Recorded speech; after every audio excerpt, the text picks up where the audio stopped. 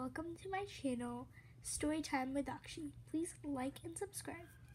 Today we'll be reading Welcome to the World by Nancy Elizabeth Wallace.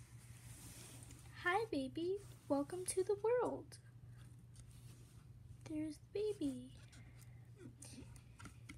Every day we'll read and snuggle. The baby loves reading with his mom. We'll talk and play. We'll sing songs, share poems and rhymes. Row, row, row your boat. We'll laugh and smile, have happy times. Peekaboo. We'll snuggle and smile and talk each day.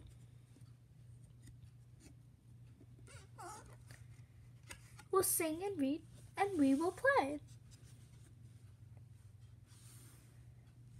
And you will grow.